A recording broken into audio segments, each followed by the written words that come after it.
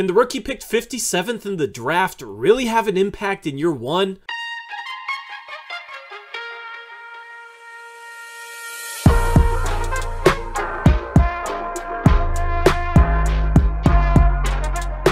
Going on everybody? Welcome back to another player preview. In this series, I break down what I expect from players on the offensive and defensive ends, what I think their role would be, how I think they might be used in Chauncey Billups' system, as well as some statistical goals. As far as Jabari Walker goes, he's an intriguing player because he's kind of an NBA-ready rookie that almost went undrafted. You don't see that too often. He was drafted with the second last pick in the draft by the Portland Trailblazers. He played at the University of Colorado, and at Colorado averaged 15 points per game, about 9 rebounds and assists while shooting 46% from the field and 34% from three, but those percentages were better the second half of his season. For his career, he shot 40% from three as he was phenomenal his freshman season. I dropped a whole video on Jabari Walker. If you want some more of my thoughts about him coming out of college, definitely go check that out. But we're going to look ahead in this player preview series, and for every player, I give them a storyline for the season, and the storyline for Jabari Walker is steal. That's the storyline. That's the headline. Because I think he's going to establish himself as a steal. Even if he doesn't have as good of a season as some people are hyping him up to have, he's still probably going to look like a steal with where he was drafted in the draft. Now, I like Jabari Walker in college at Colorado. I was very impressed with some of the games that he had, and I thought he should have been taken in the early second round. He fell all the way to 57, and he's just a better player than that draft selection would suggest. In Summer League, Jabari Walker looked phenomenal. And you can never read too much into Summer League, but I think the one thing you can read into is basketball IQ and how smart a player looks and how instinctually they play.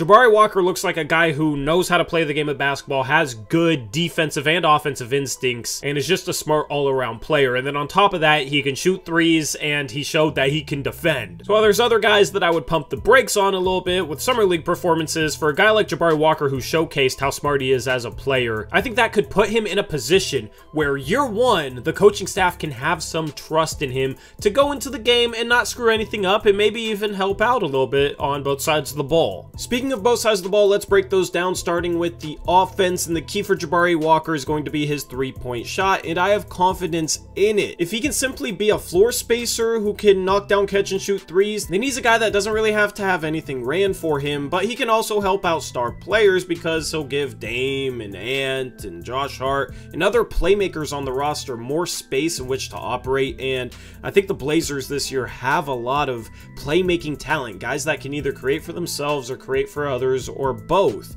Having shooters around them is going to be a beneficial thing and you want a balance between enough playmaking and enough floor spacing. Jabari Walker can bring that second quality. I would be shocked if Walker isn't a guy that defenses have to respect and stay out on. I don't think you're going to see defenders playing super far off Jabari Walker as we get further along into the season, but at the start of the year, when he doesn't have much respect, you could see Walker getting some open catch and shoot looks. I just think his shooting talent is enough that he will knock those down and make defenders think twice before leaving him. In the past, uh, Blazers forwards haven't really had that quality. They haven't necessarily been the best floor spacers. I think Jabari Walker will be better than a number of past Blazer forwards in terms of just being a spot up, catch and shoot guy and a floor spacer. So that is the number one thing I'm looking for as far as his offense this year is what is his three point percentage? Is he knocking down shots and that sort of thing? But on top of that, he he's not just a shooter. I really like his cutting. He showcased that in Summer League, and that goes to show some of the high basketball IQ stuff that I talked about, but he looks like a guy that'll make the right cut when it's available to him, and then spot up when he needs to as well. And having a guy that can do both those things makes their defender off the ball have to worry about a lot. It helps keep the back line of an opposing defense honest, and it's harder to load up on other players. Jabari Walker seems like the type of guy who just knows how to cut at the right time, when to back cut, when to flash to the middle of the paint, that sort of thing. Having a guy that knows how to move off ball is beneficial, especially if they are a shooter.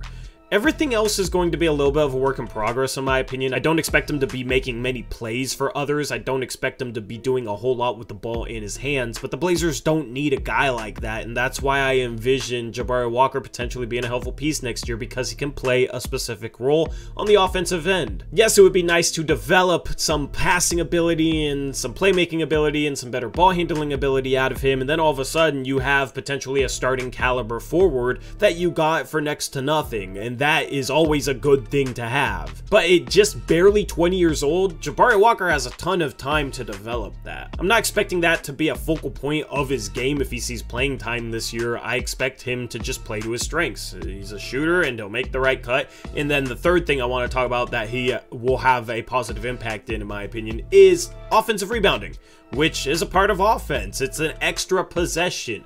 You basically wipe out a missed shot with an offensive rebound. Having a guy that can get offensive boards as well as space the court is rare because normally when you have three-point shooters, they're not playing around the rim on offense, so they're not collecting these offensive rebounds. They're out beyond the three-point arc, but Jabari Walker has proven in college and in summer league to be a guy that can knock down threes while space the court, but then also somehow just find his way into the paint a lot of times and gather offensive rebounds or get tip outs or that sort of thing. And uh, with Damian Lillard, Anfernee Simons, you're going to have some deep threes that are missed. That leads to long rebounds. Having guys in there that can corral those rebounds is definitely a positive thing. So that is the breakdown of Jabari Walker's offensive game. Now let's talk about defense defense. And I think this is the biggest swing factor that could go either way for Jabari Walker. I do expect him to be an okay defender his rookie year, but we've seen highly touted defensive players come into the league in past years, and they haven't been good defensive players right off the bat. It's a tough adjustment going from a lower level to the NBA. I don't know if Jabari Walker is going to be able to make that adjustment right away, but I surely hope he can, because in that case, then he's a 3-and-D forward, and those, as the Blazers have proven in past years, aren't exactly exactly easy to find. Now, I think he will defend forwards just fine. That's threes and fours, small forwards and power forwards. I think he has the foot speed to stay in front of most forwards, and then I think he has the size and the strength, especially in his chest, to be able to wall guys off and be physical on drives. The thing is, is, is he going to be called for a ton of fouls as a rookie because he won't get respect from the refs? That is something we definitely have to worry about next year. But defensively, he seems like he's a smart defensive player. He seems like he has good instincts. It seems like he knows what spot to be in, and he seems to recognize that quickly. Some guys know what spot to be in, but they don't recognize or read offensive plays quickly enough in order to get to the spot that they need to be in. Some guys just process it extremely quickly. Jabari Walker seems like the latter. He has enough length to be a little bit of a rim protector. I don't expect that to ever be a strong suit of his, but as a secondary rim protector at a power forward spot, I think he's just fine in that regard. But I think where I have the most optimism in regards to his defense is actually on the ball because in Summer League I was very impressed with how he A, moved his feet, but then B, he also didn't open up the door like a lot of young players do and just let offensive players drive by them. That's been an issue with a lot of young players, and a couple of these player previews will cover that issue in regards to other players on this Blazer roster, but Jabari Walker did a good job in Summer League just sliding his feet and then absorbing contact with his chest, which is a skill that's hard to teach, and the fact that he is able to do it even somewhat consistently in Summer League, that's something that you don't just do in Summer League and then you're unable to do in the NBA. Yes, players are a little quicker, a little faster, but he was doing that against some of the quickest guards in Summer League at times. So if we're talking about him guarding threes and fours at the NBA level, I think he'll be able to stay in front of them and contain them on the perimeter.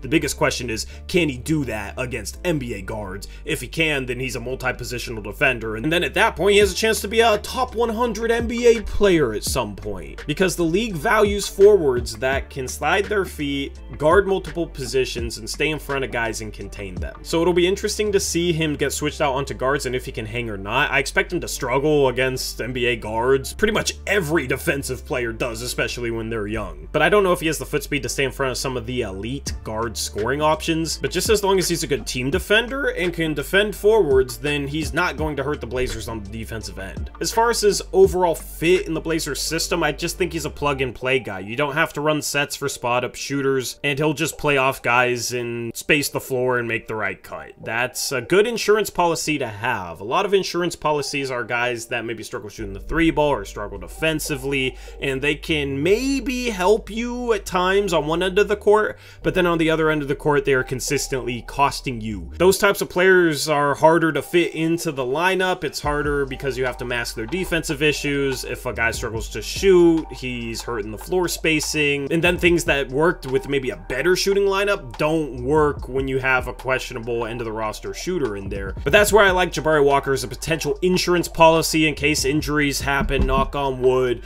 or something else crazy happens. I don't know, but it's nice to have an insurance policy that's a long-term developmental piece that's barely 20 years old, but year one, you feel like you can count on them to not hurt you on either end of the floor. And uh, he just has to knock down threes and then just not be a liability on the defensive end. And I, I think both those things are likely. I mean, you look at another young forward on the Blazers roster, Greg Brown III. You can't trust him to consistently shoot or play defense or do anything with the ball in his hands. I think Jabari Walker's better than him with the ball in his hands, at least just making basic plays with the ball. You can't consistently rely on Greg Brown III to come into a meaningful game and not hurt you yet. Hopefully, some point you will be able to, but not yet. With Jabari Walker, I think it's different. I think he's an insurance policy that you can trust. Now let's look at the statistical goals for Jabari. The first two are efficiency goals, and those are to shoot 50% from the field and 36% from three. This might seem a little bit high, but given the fact that a lot of his two-point looks are going to be very high quality, in my opinion, he's not going to be driving into traffic and trying to rearrange around two defenders to finish. He's going to be getting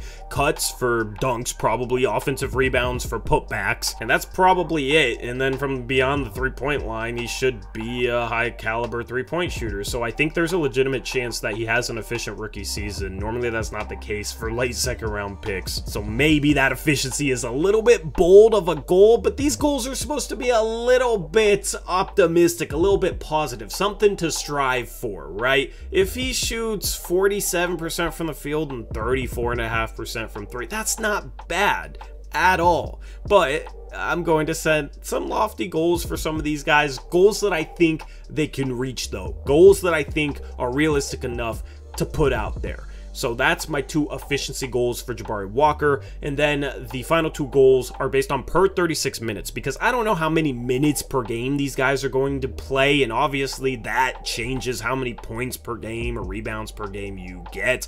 Obviously, if you play more minutes, you have more time to accrue more stats. So these are per 36 based numbers. I want to see him average 12 points per game and then 7 rebounds per game. I think both of those are even more realistic than the efficiency goals that I set for him. The rebounds especially, he averaged over 9 a game in college. I think he will be a good rebounder in the NBA. Anyway, that wraps up this player preview on Jabari Walker. I'm very curious and excited to see what he is on the NBA level this next season. And then, of course, I'm excited to see what he can become long term. I'm very, very high on the rookie. Let me know what you think about Jabari down in the comment section below. Let me know what you expect from him this season. Let me know if you think he'll play right away. Just give me your thoughts. It's always fun to read them on specific Blazers players. Leave a like on this video. It helps me out. And then subscribe if you're new to the channel we cover the Portland Trailblazers and sprinkle in some general NBA stuff in there, but we have a post game show after every single Blazers game. I'm excited to get those started in less than a month. We might have another player preview later on tonight on the 21st, so stay tuned. We're going to finish up this series by the end of September, so there will be a couple days where there's two uploads. There's also going to be a playlist linked in the description box below for player previews as well. And with that being said, I'm out of here. Until next time, as always, peace out.